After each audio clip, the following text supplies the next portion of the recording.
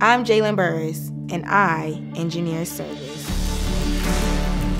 Engineering service means using my engineering skills, like my project management skills or technical skills, to help improve the quality of lives of people. Engineers don't just have to be engineers. There's a lot that goes into what an engineer can be. In my time here at Penn State, I've held a plethora of leadership roles, including roles in Blueprint, NSBE, NCNW, MEPO, EUC, and eStars. Creating networks in STEM for underrepresented groups really plays a large role in just advocating for people who might look like me. I get to be a mentor to them and help uplift them and get them involved in STEM and just be the face of you can do this.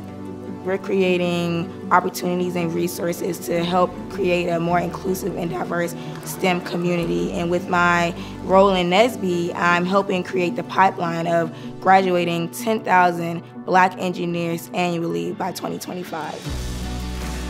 I'm here for a purpose, and I think my purpose in this world was to help give back to people, help amplify their voices, so that the students who are growing up and will be in the spaces that I'm in now will be able to flourish like I am at the moment.